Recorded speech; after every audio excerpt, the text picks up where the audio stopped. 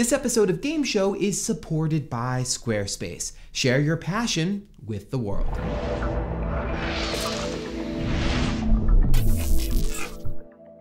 Minecraft's importance cannot be overstated. The game about mining, building, and sharing has sold to the tune of 70 million copies. It led the charge of the Let's Play movement, and with Minecraft EDU, it's slowly but surely taking over the school system. As we've talked about before, it represents a paradigm shift that challenges our assumptions about games themselves. It's done all of this great stuff, but if there's one knock against it, it's that Minecraft is kind of well, ugly.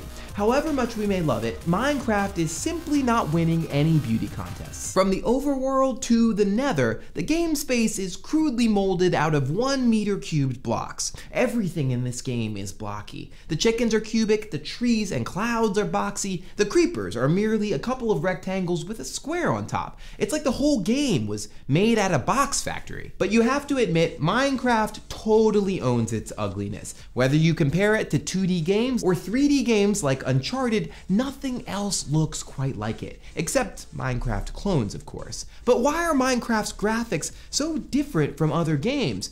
Where did all these blocks come from? As it turns out, there's a really cool backstory to Minecraft's blocky world, and it begins at a pivotal junction when games were about to change forever. When I was growing up with the Genesis and Neo Geo arcade machines, most games looked the same. They were flat, and if you looked closely at the screen, you would see it was covered with a mosaic of tiny little dots. As our well-informed game show audience probably already knows, these were called pixels. Don't get that confused with that terrible Adam Sandler movie that's called Pixels but actually uses 3D. In fact, let's just forget that movie entirely. Pixels can be traced all the way back to 1957 when Russell Kirsch, a young engineer at the National Bureau of Standards and a proud father, scanned an image of his three month old son don't you just want to pinch his pixelated little cheeks? But pixels were not the only way of doing graphics. As they say, there is more than one way to skin a Bubsy.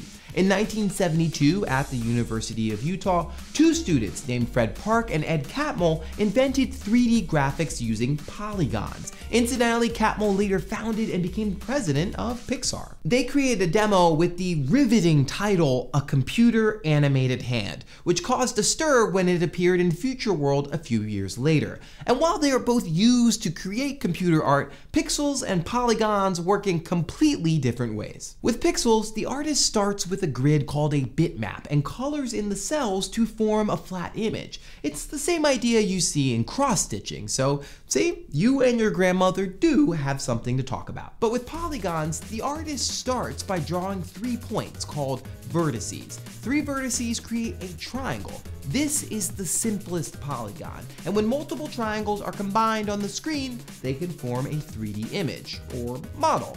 However, polygons weren't ready for prime time because computers were slow and clunky and not ready to truly do them service. So for the meantime, games stuck with pixels, and everything was hunky-dory. We had these wonderful pixel games to play. That is until the mid-90s when the polygon returned, like the prodigal son. Everyone was excited for Star Fox and Toy Story and Virtual Worlds, but Pixels were not too keen on that. They were all like, oh yeah, our cousin can do 3D too. Meet the voxel. Voxels have been invented in the 1970s, but have been lying around in the broom closet of graphic technology and only brought out to do important but kind of unexciting work like CAT scan imagery. And voxels are a lot like pixels. In fact, voxel is shorthand for volumetric pixel. The main difference being that a pixel is square while a voxel is cubed. At least most of the time they are cubes because that's the simplest building block. And just like pixels are placed together on a grid to create a flat image like this adorable pixel art of Kirby, many voxels are placed together to create a 3D object like your house in Minecraft. Since voxels are pretty much pixels in 3D, they seem like the most logical choice for doing games in 3D.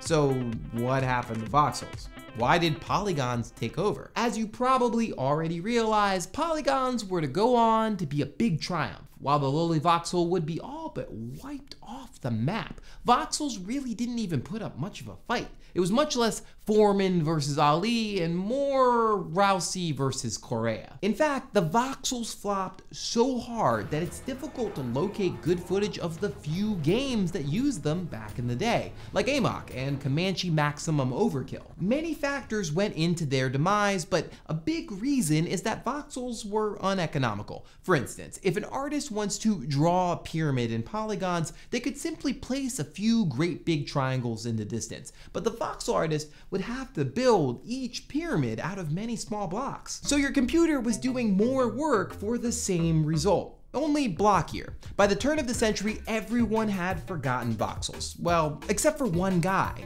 Ken Silverman. Silverman was a child prodigy who made a Wolfenstein 3D clone called Ken's Labyrinth when he was only 16. Epic Games was so impressed by his talent that they bought the rights from his father. One day, while looking through the second edition of Computer Graphics, Principles and Practice as one does, young Silverman came across an illustration of voxels he was smitten. By the time he turned 20, he had developed the engine for Duke Nukem 3D. In fact, he tried to use voxels for it, but they were deemed unnecessary. Then Silverman decided to retire from the whiz kid game programmer gig and, you know, go to college like other people his age. But he never gave up on voxels. Ken became convinced of voxels' superiority. He thought that polygons would transition into voxels. Someday, Voxels will rule the world, he blogged. This sounds weird because polygons seem like the better option. But if voxels were shrunken down to be tiny,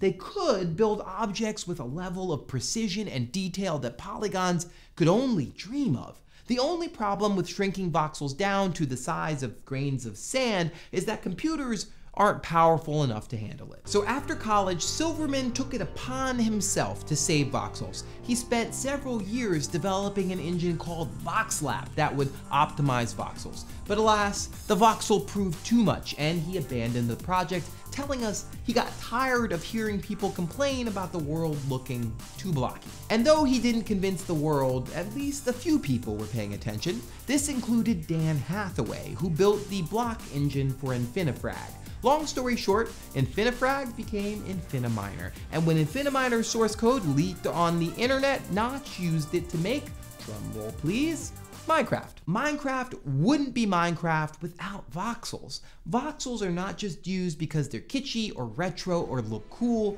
but because they let you play in a completely different way. Take digging for instance. To go back to our pyramid example, there's no way you could dig through the pyramids in Mario 64 because they're large flat polygons nothing's underneath it. But Minecraft's graphics are structurally different. The world is made of voxels, which are stacked together like building blocks. So that means you can burrow through the walls and the ground and stake your claim in it. So Ken Silverman was right.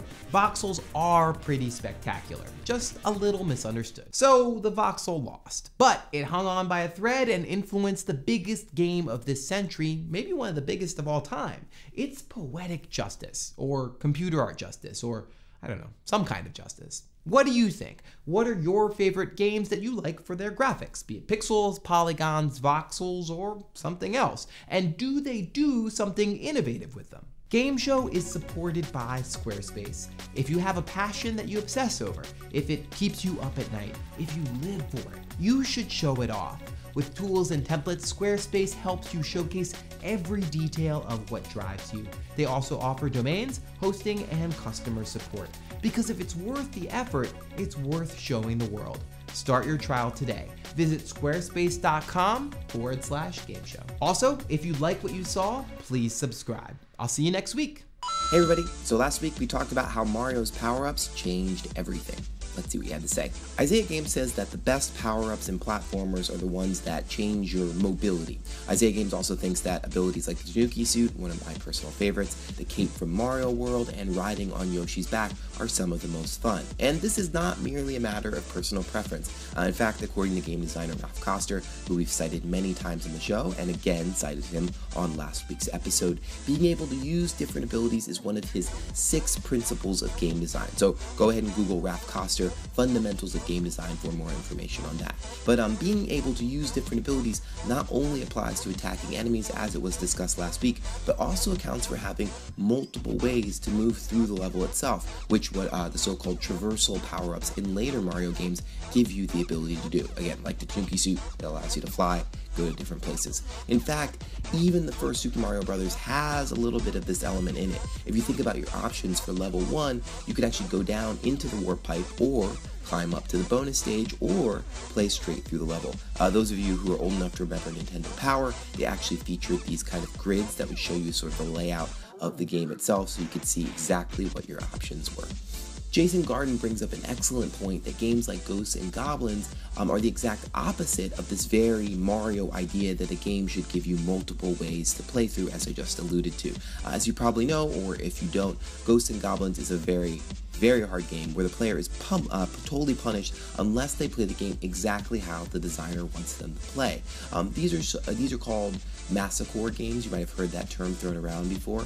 Um, it was likely coined by game designer Anna Anthropy, or at least that's the first person I ever heard use that term. In any case, Anthropy uh, traces the origins of the masocore genre back to Mario. Um, only not just Mario 1, but the super hard Japanese Mario uh, Mario 2. In fact, she says that Mario 1 and 2 do something unique where the first game sets up your expectations and the second one then violates them by doing something totally unexpected. Um, so in the second game, for example, you're given a warp pipe that takes you back to the beginning of the game. It just goes to show you that Mario has done it all.